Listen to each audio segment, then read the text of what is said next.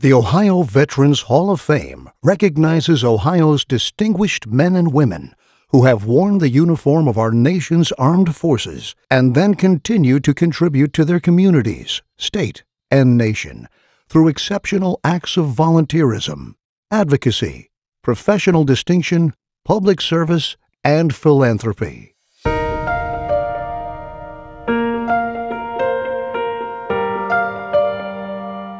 Fred Pumroy from uh, Fairborn, Ohio. Yeah, after uh, retired uh, from the military, uh, tried to decide to use those experiences and skills in uh, helping others. So I started a, um, a uh, consulting business where I help uh, uh, small disadvantaged businesses do business with the government. Uh, I was on city council for about 10 years. Um, two of those were deputy mayor. And of course, when that happens, you get involved with a lot of committees and boards. And so I ended up on several boards and committees. And then uh, in Rotary, I uh, was able to establish a, a, um, a book program called the, uh, Andy and Elmer's book.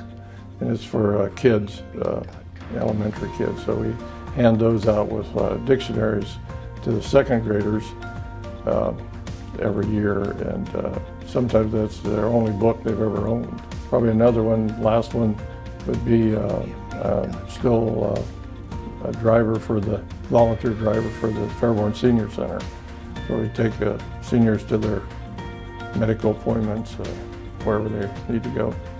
We get more out of doing this than helping others than they get out of it. And uh, plan on continuing as long as I am able. Selection and induction into the Ohio Veterans Hall of Fame is a great honor. Nominate a veteran today